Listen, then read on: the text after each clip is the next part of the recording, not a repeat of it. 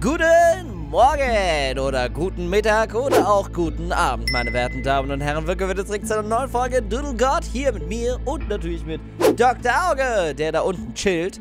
Äh, ich habe den da einfach mal unten reingestopft. Der guckt heute mit zu, okay? Der ist heute mit dabei. Nicht vergessen, Leute, shop.aerosol.de. Dort findet ihr euren Dr. Auge. Aber darum geht es heute nicht. Heute geht es hier um diese Erde. Diese Erde hier hat tatsächlich etwas Besonderes an sich. Und zwar müssen wir diese Erde wieder reparieren, indem wir die Elemente finden. Sprich also, wir haben hier ein wenig Lava, so wie es aussieht. Hier haben wir einen Vortex, der da irgendwie gerade im Pazifik oder sonst irgendwo ein Gewässer gerade aufwühlt. Und Wolken fliegen natürlich auch drumherum. Das, was wir jetzt machen müssen, ne, ist, wir müssen die Elemente finden, die dementsprechend diese Erde vollständigen. Und dafür müssen wir Elemente verbinden. Also, gehen wir mal hier drauf und haben hier jetzt Feuer. Und auf der anderen Seite haben wir Erde. Und wenn wir jetzt Erde und Feuer miteinander kombinieren, kriegen wir Lava! Auf, äh, Aschehaufen haben es gern, wenn man sie für erloschene Vulkane hält. So, ähm, damit haben wir jetzt Lava freigeschaltet und damit schalten wir jetzt sozusagen die Vulkane frei. Cool. Okay, wir gehen mal weiter. Schauen mal, was wir noch für ein Element machen können. Gehen wir mal wieder zur Lava rein. Wir könnten theoretischerweise auch einfach mal Feuer mit Luft kombinieren. Was kriegen wir daraus? Uh, Energie haben wir da bekommen. Information ist Energie. Bei jeder Weitergabe verliert sie etwas davon. Nun ja, okay. Damit haben wir jetzt auf jeden Fall Energie freigeschaltet. Und es ist eine neue Mission verfügbar. Also schauen wir mal rein, was die neue Mission so mit sich bringt. Also, Saat. Erstelle das Element Saat und erhalte eine Belohnung. Belohnung für Fertigstellung 2. Okay, Saat ist dann dementsprechend dafür da, um wahrscheinlich auch irgendwie was anzubauen, also um dann am Ende des Tages vielleicht Brot daraus zu machen, ne? Ähm, also schauen wir mal, wie wir das hinbekommen. Wie kriegt man denn Saat mit diesen Elementen hier hin?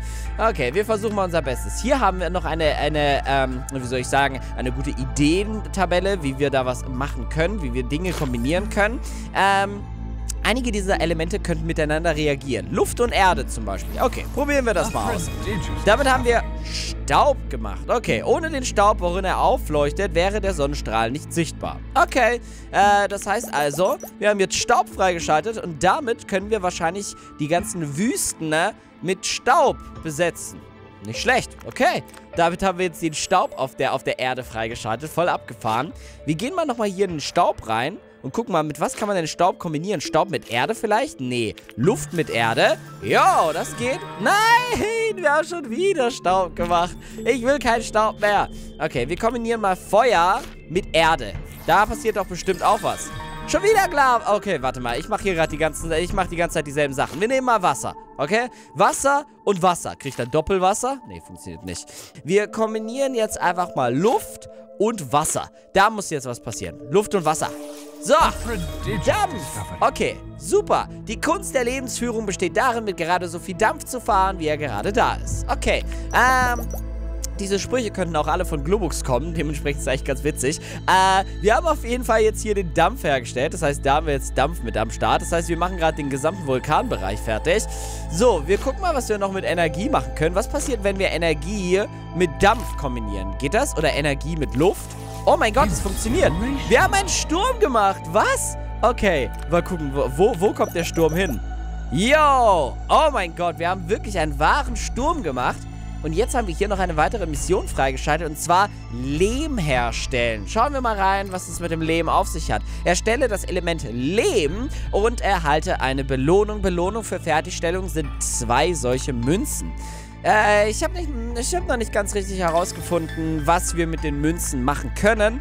Aber wir probieren mal unser Bestes. Also so können wir übrigens auch die Erde hier drehen. Warte mal, ich glaube, wir können auch ein bisschen so zur Seite gehen. Ja, so, dann können wir mal die Erde nochmal von weit weg angucken. So sieht es circa aus und so können wir sie drehen. Ähm, nun gut, wir schauen mal, was wir noch miteinander kombinieren können. Äh, ich würde mal Erde ausprobieren und Energie. Kann man da was machen? Nein. Okay, keine Erde und Energie. Versuchen wir mal Feuer und Wasser aus. Hatten wir das schon? Ne, das hatten wir. Das ist dann Dampf. Was ist ein Feuer und Sturm? Kann man Lava und Sturm kombinieren? Feuer und Sturm? Aber Feuer und Staub. Yes, Sir! Asche! Der Funke glimmt auch unter der toten Asche. Klasse. Der, die Asche ist ja perfekt dann dementsprechend für die Vulkane, damit da natürlich dann auch die richtige Aschewolke rauskommt. Abgefahren. Sehr, sehr cool. Da fliegt jetzt auch gerade die Wolke vorbei. Okay, was könnte man noch kombinieren? Ich bin mir noch nicht sicher, was man mit Energie möglicherweise zusammen herstellen kann. Wie kann man denn Saat herstellen? Eigentlich Erde und dann Wasser. Erde und Wasser. Was, was kommt denn daraus eigentlich? Sumpf! Na klar, wenn man einen Sumpf äh, trockenlegen will, darf man damit nicht die, äh, die Frösche beauftragen. Okay. Ähm, nun gut. Das ist jetzt das Sumpfgebiet, was wir damit angelegt haben. Alter, wir haben das schon voll viel jetzt gemacht. Gar nicht übel, gar nicht übel. Wie macht man denn jetzt Leben? Wie soll man das denn machen? Also hier sind auf jeden Fall alle unsere Geschichten gewesen, die wir gemacht haben. Wir haben schon ein bisschen bisschen ordentlich was gemacht. Ich versuche jetzt mal noch so viele Sachen wie möglich selber hinzubekommen. Mit was kann ich meinen Sumpf kombinieren? Sumpf und Staub. Ey, wisst ihr, was man aber vielleicht machen kann? Staub und Erde. Nee. Aber Erde und Dampf, Erde und Asche. Eigentlich muss irgendwas mit der Erde passieren, damit wir da was schaffen können. Okay, wir schauen uns mal einen Tipp an. Ah, okay. Ähm, wie kann ich Leben erschaffen? Mit einem Herz und Energie. Okay, man kann irgendwie Leben erschaffen. Und das macht man mit Energie. Oh Gott, wie soll man das denn machen? Äh... Sumpf und Energie. Oh mein Gott! Es war Sumpf und Energie. Na klar, stimmt. Im Sumpf leben natürlich Tiere. Und diese Tiere haben wir jetzt gerade, da haben wir gerade Leben einfach mit Energie gemacht. Stimmt, es kommt nicht darauf an, an dem Leben mehr Jahre zu geben, sondern dem Jahren mehr Leben zu geben. Genau. Äh, abgefahren. Wir haben jetzt Leben einfach gemacht. Oh Gott, was können wir denn jetzt alles damit machen? Wir können jetzt eigentlich Wasser mit Leben kombinieren. Und dann werden Fische rauskommen. Kraut! Wir haben einfach Kraut gemacht. Oh mein Gott. In einem Backofen wächst kein Kraut. Das ist äh, ein, ein Stichwort, ja. Oh mein Gott, wir haben jetzt was Neues geschaffen. Das ist jetzt wie so ein, wie so ein Tier. Kraut. Kraut und Erde. Oh mein Gott, was kann man daraus machen? Ein Pilz! Ein Pilz! Ja, na klar! Oh mein Gott, können wir diese Pilze platzieren? Nein! Ja! Nice, nice! Oh mein Gott, wir müssen Gras herstellen.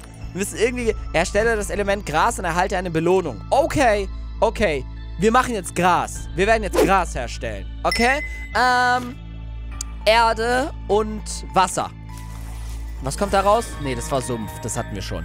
Wir müssen irgendwas hier mit diesen... P mit, mit Kraut machen. Kraut und Erde? Kommt da... Kommt, nein, da ist wieder der Pilz nur. Äh, Wasser und Pilz. Wasser und Kraut? Nein. Was? Sumpf. Oh, Sumpf. Moos. Oh, ich habe jetzt gerade Moos hergestellt. Ja, klasse. Okay, warte mal. Wo ist das Moos? Da ist jetzt Moos. Moos mit Erde zeigt immer Richtung Zivilisation. Dadurch haben wir jetzt das Gras gemacht. Auf dem Fußpfade wächst kein Gras. Ja, perfekt. Alter, wir haben einfach Gras hergestellt. Woo, Alter. Oh mein Gott, wir haben einfach die Welt grün gemacht. Nicht schlecht. Dafür gibt es zwei Münzen. Klasse. Damit haben wir auf jeden Fall jetzt schon mal die Erde hier ein wenig besser aufgelockert. Wir versuchen es weiter. Saat müssen wir noch herstellen. Jetzt, jetzt, wo wir das Gras haben... Oh mein Gott, das ist nochmal eine neue Kategorie, die wir freigeschaltet haben. Jetzt können wir tatsächlich das Gras vielleicht mit Pilzen oder mit Kraut kombinieren. Nein, können wir nicht. Wir können aber bestimmt das Gras mit Erde kombinieren. Nein. Äh, Gras mit Wasser. Gras mit Sumpf. Oh! Schilf. Okay, Schilf sind immer diese Dinger, die an diesem äh, Seerand immer so rauswachsen, die immer so aussehen, als ob das so kuschelige Dinger sind. Ihr kennt die, ihr kennt diese Dinger. Die sind richtig nice. Schilf. Wo kommen die bei uns hin? Ah, perfekt. Gleich in das Sumpfgebiet. Oh mein Gott, eine Eidechse. Oh, jetzt müssen wir unser erstes Tier machen. Okay, ähm... Erstelle das Element Eidechse und erhalte eine Belohnung. Naja, ob das jetzt wirklich ein Element ist oder ein Tier, da lässt sich darüber streiten. Eigentlich nicht, aber egal. so, äh, wir brauchen auf jeden Fall, um eine Eidechse zu kreieren. Wie können wir denn eine Eidechse kreieren? Also wir brauchen auf jeden Fall Zivilisation, aber auch Leben. Äh, kann man Leben mit Gras machen? Leben mit Schilf? Energie mit Gras? Energie mit Schilf? Nein. Feuer. Kann man Feuer und Gras machen? Ja! Tabak! Oh mein Gott, Alter, wir haben einfach Tabak hergestellt zum Rauchen. das äh, hatte ich eigentlich gar nicht vor, aber äh, haben wir jetzt was zum Rauchen hergestellt. Eine Zigarette besteht aus Papier, ein Gramm Tabak und, eine, äh, und viele Werbemillionen. Genau. Äh, nicht übel. Nicht übel. Ah, da oben haben wir jetzt einfach Tabak hingestellt. Okay, jetzt haben wir auch Tabak hier auf der Erde. Tja, haben wir aus Versehen die Zigarette gerade erfunden. So schnell geht's, hä? okay, was haben wir noch? Leben. Ähm, jetzt haben wir den Tabak. Oh mein Gott, lass mal den Tabak anzünden mit Feuer. Asche! Jetzt haben wir schon wieder Asche gemacht. Na klar, weil wenn man eine Zigarette verbrennt, entsteht natürlich Asche daraus. Okay, es gibt also mehrere Arten und Weisen, etwas zu kreieren. Oh mein Gott, ist das spannend. Okay, Tabak, äh, Tabak und Feuer. Lava. Kann man, kann man denn noch mit Lava etwas machen? Weil wir haben ja eigentlich, eigentlich würde ich gerne mal Sand herstellen. Wie kann ich da, kann ich Moos und Erde kombinieren? Nee, da kriege ich einfach nur Gras raus. Okay. Ich möchte da etwas Lebendiges kreieren, aber schade, dass Erde kein Leben gibt. Was macht man, wenn man Leben und Leben macht? Nee, das geht nicht. Äh, Gras, Schilf, äh, kann der, kann der Schilf leben? Schade auch nicht. Asche, Leben. Oh mein Gott. Ein Gespenst. Niemals. Wir haben einfach Asche und Leben miteinander kombiniert und haben einfach ein Gespenst rausbekommen. Jede Erscheinung beweist ihre Notwendigkeit durch ihr Dasein. What? Das ist eine neue Kategorie, die wir bekommen haben. Gespenst. Gespenst und Energie? Gespenst und Leben. Haben wir schon. Da bin ich mir nicht so ganz sicher, aber wir haben einfach ein Gespenst einfach gemacht. Abgefahren. Okay, das ist hier schon, das ist schon echt krass. Ich würde gerne, eine Sache würde ich jetzt hier gerne noch schaffen, ne? Und zwar eigentlich noch gerne eine Quest. Wir schauen mal nochmal einen Tipp an. Was wäre, wenn ich Stein erschaffe? Na klar! Hey, ich habe eine Idee. Natürlich, man kann ja Lava nehmen. Und wenn man Stein machen möchte, muss man eigentlich die Lava voll leicht eigentlich auf Wasser machen. Dann kriegst du doch schon einen Stein. Oh mein Gott! Crazy. Alles klar. Wir haben natürlich den Stein vergessen. Ich bin so dumm. Ich habe einfach noch nicht den Stein entdeckt.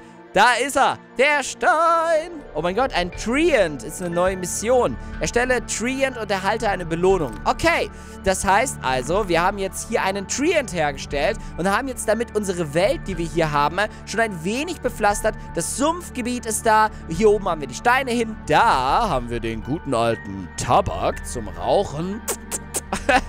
und natürlich den Sumpf mit den Pilzen und mit diesem Schilf, der da ist und die äh, guten alten Magma-Vulkane. Alles klar, ich würde mal sagen, und natürlich nichts vergessen, wir haben auch irgendwo noch einen Sturm gemacht. Ich glaube, das ist sogar das hier, unser Sturm. Äh, ja, wir sind auf jeden Fall schon mal ganz schön weit gekommen. Falls ihr eine weitere Folge hiervon sehen wollt, dann gebt einen Daumen nach oben auf dieses Video. Ich hoffe, es hat euch gefallen. Falls ja, dann schreibt mir doch gerne in die Kommentare, was ihr miteinander gerne mischen würdet, um dort ein neues Element zu bekommen. Leute, wir sehen uns in der nächsten Folge wieder. Ich hoffe, es hat euch gefallen. Haut rein, Leute. Und ciao.